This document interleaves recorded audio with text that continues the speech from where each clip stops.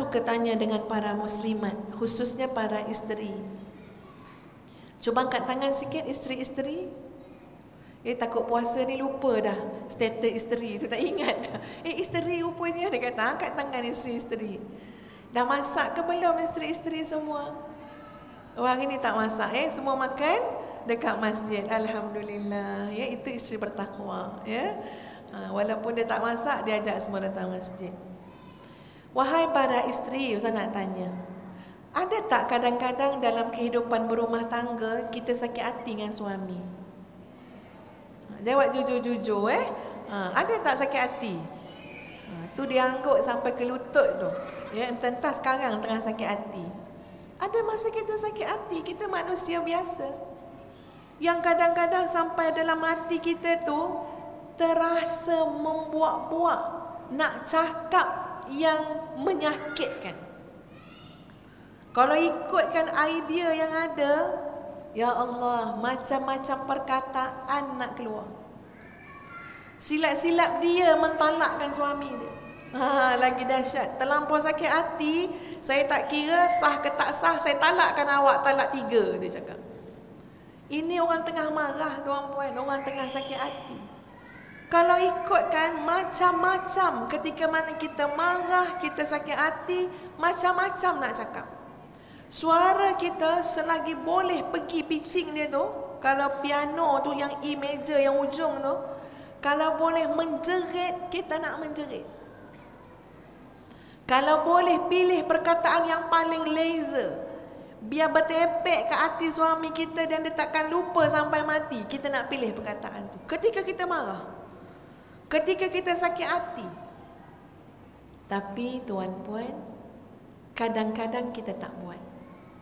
Walaupun idea tu datang, bisikan tu datang, tapi kita tak pilih untuk melawan, tak pilih. Tiba-tiba kita pilih untuk diam. Tiba-tiba kita pilih untuk menahan diri dengan kesabaran. Tiba-tiba kita pilih untuk zikrullah. Tiba-tiba kita pilih untuk salat, berdoa kepada Allah. Kenapa? Percayalah kerana dalam hati isteri itu masih ada ketakwaan. Sebab dia takut terjerumus ke dalam azab Allah. Dia takut. Kalau tak ada takwa ni tuan-puan, kalau tak ada yang macam Ibn Rajab sebut, tak kisah tentang sempadan antara dia dengan azab Allah, yang itu dia cakap apa saja yang dia nak cakap. Yang itu dia boleh buat apa saja kepada suami dia, anak-anak dia dan orang lain. Tapi dek kerana ada yang namanya takwa, melindung diri dia, menjadi satu pedoman kepada diri dia untuk tidak buat satu-satu perkara yang boleh mendekatkan dia dengan azab Allah. Sebab itu kita dengar, kita tahu cerita bagaimana Sayyidatina Fatimah, isteri kepada Sayyidina Ali karramallahu wajhah, pada satu ketika yang sedikit terguris hati suaminya. Fatimah kelilingkan Ali minta maaf. Minta redha. Sampai ada riwayat kata sampai lebih 70 kali keliling. Nak minta maaf nak minta redha. Aku tidak akan tidur sehingga kamu tersenyum sehingga kamu redha. Percayalah tuan puan ini datang daripada hati yang bertakwa kepada Allah sebab tak sanggup tidur dalam keadaan Allah laknat. Tak sanggup ke mana-mana menguruskan hidup dalam keadaan Allah laknat.